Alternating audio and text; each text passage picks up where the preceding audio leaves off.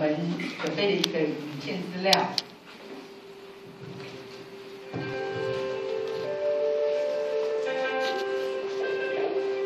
内湖，台北市的科技重镇，每天有十万人从各地涌到这里上班。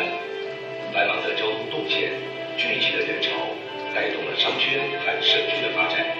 也造就台北的经济效益。随着文湖捷运穿越内湖，一栋栋的高楼间，却有着一块铺着柏油路面和充满铁皮建筑的地方。这些外表看起来像是工厂的破旧建筑物，还停留在七零年代的模样。就住在这块土地旁的朱先生，说着周遭环境的改变，快速道路穿山而过，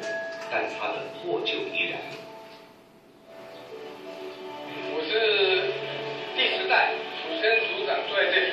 已经超过两百年了啊。那么我爸爸是以这里的乡民代表。兼这里的大湖村村长，这边四座风景秀丽，但是也渐渐的改变。特别醒目就是说，我老家前面一个很大的山地，整个山也铲掉，渐变为不大代表社区。那左边的呢整个山铲掉，变成六瓦人社区。那么这是已经部分的改变。那建设的再改变呢，这公路不断，捷运也开通了。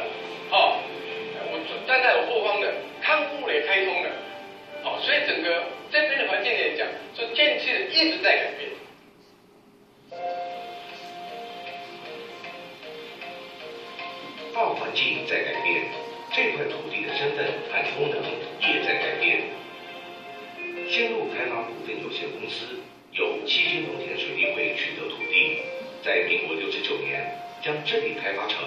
翡翠湖。国际网球俱乐部。七零年代，这块土地再度易主，成为公车总站。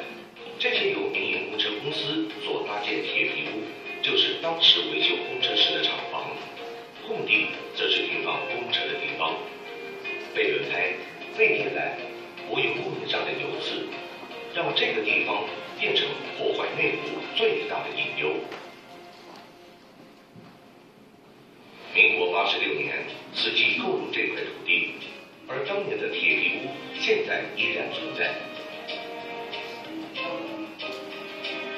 民国八十六年，实际过日这块土地以前，这个地方已经是遭受到破坏几十年的破坏区。它在名目上虽然称作保护区，但是它已经遭受到实质破坏的破坏区。期待实际购入这块土地以后，将它变成一个充满着森林、花草树木的生态园区，并富有爱心的一个园一个园地。在修修补补下，政府努力将原本废弃肮脏的空间改善为环保资源回收站。但是，一旦遇到烈日当头或是大雨来袭，也只能勉强使用这简陋的空间。虽然如此，志工仍不放弃投入助人的工作。那有请，你就再叫你的爱心那个上面的那个又是真相，这个是真的，我们这个地方是，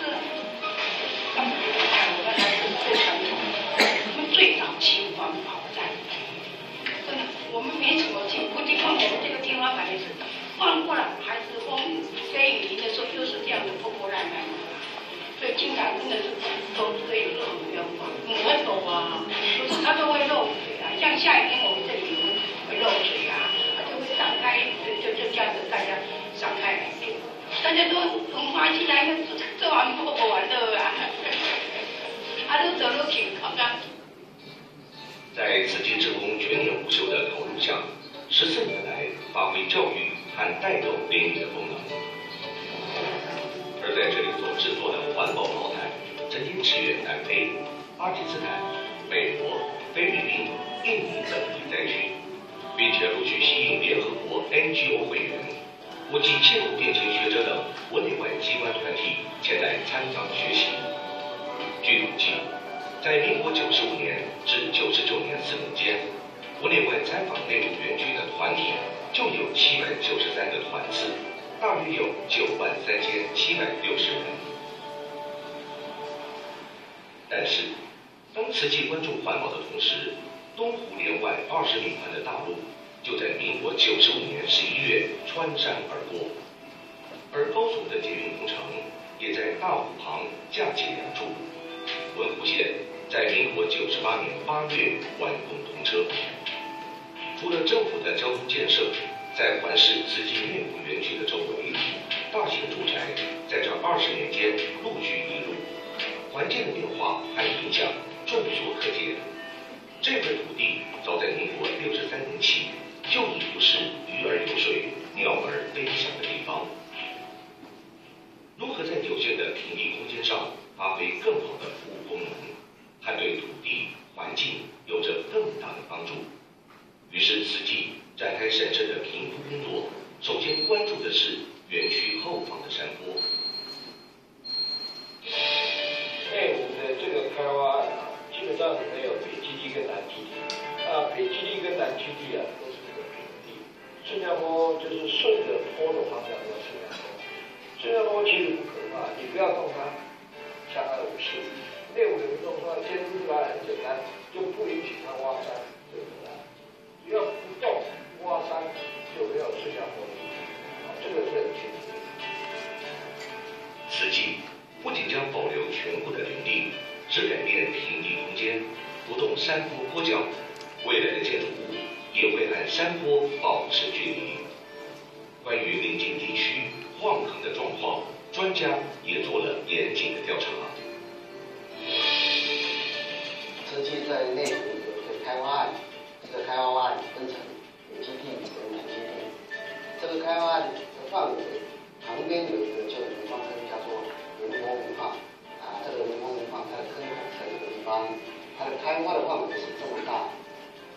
旧的煤矿啊，目前已经不再开采了。它的位置跟我们现在的开发距离是二十公尺，它们两者之间的高差是二十点六七公尺。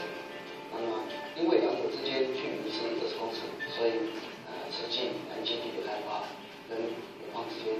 没有直接的关联。也就是说，我们基地的开发啊，安全方面是没有。另外，大湖居民最关心的强降雨所造成的排水问题，依照山势来看，实际园区属于牛稠溪水域，而邻近的大湖山庄属于大沟溪与米粉坑溪水域，不同水系下，两地没有直接的关系。此外，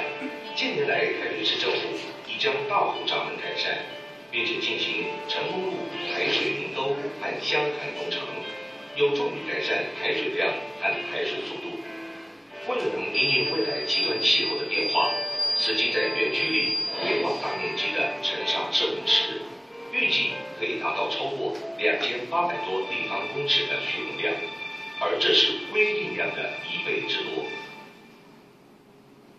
实际新建也是会改变，但它的改变以实际的专业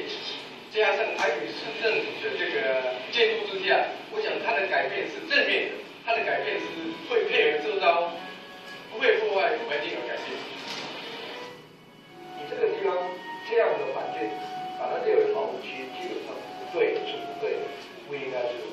保护区。啊，当然不是允许一个商业行为，就是盖很多的建筑物，然后来卖卖住宅、卖空间，这个也不政府到不必这样做，那很难得啊。实际公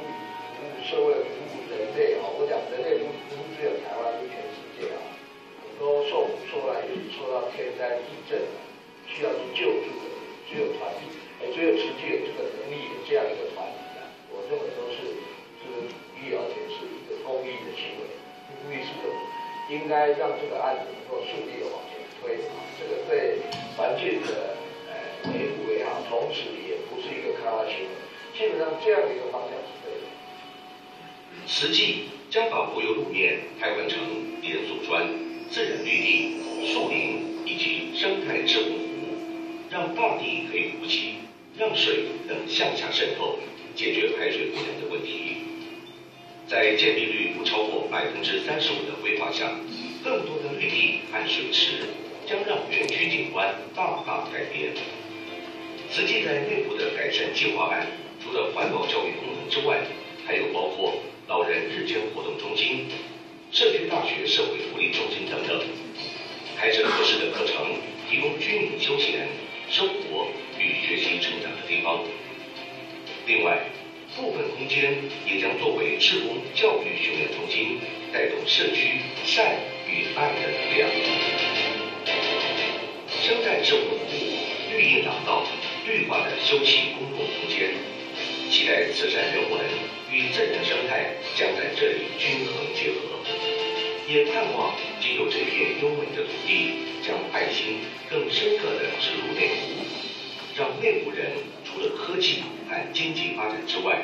也蓄积起善与大爱的力量。